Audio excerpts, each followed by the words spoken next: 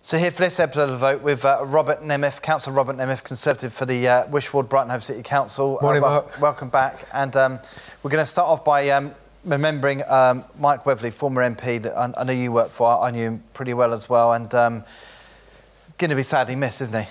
Yeah, I mean, um, lots of us were absolutely devastated by the by the by the loss of um, our great friend Mike Weatherley, who was, of course, member of Parliament for Hove from 2010 to 2015. He didn't he didn't restand because of his um illness at the time, but um, he, he was such a you know big character in the lives of so many of us, including my own family. So.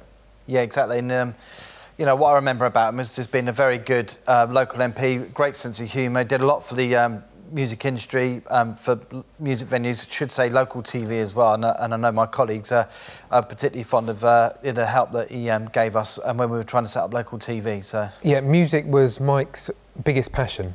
I mean, he famously wore an Iron Maiden T-shirt in the House of Commons, and uh, there were many bands that he absolutely loved. Invited to the House of Commons, listened to the industry problems. Big promoter of the industry, intellectual property advisor to the Prime Minister, particularly um, in promotion of young musicians trying to make their their way in the world in a tough, in a very tough world to get started in. Of course, the big guys get paid a lot of money, the smaller guys don't. And Mike was very much a defender of these sorts of um, small artists and bands by, Yeah. by, by promoting them in all sorts of different ways, including through a competition in the House of Commons called Rock the House. yeah, it was, it's good. I remember going to a party with my wife with that as well. Actually, it was good fun.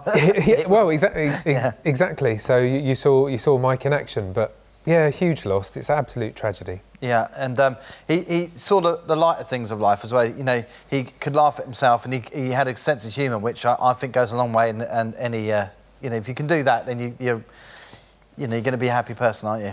Yeah, he, Mike was someone that, that made people feel special after after speaking to him. He'd, he'd intently listen. He'd be very interested in what their what their issue was, which is a which is a big part of the job of being an MP. And then he'd go away and help and help them. And and I can think of so many different examples after running his office for five years of where he listened and it changed people's lives.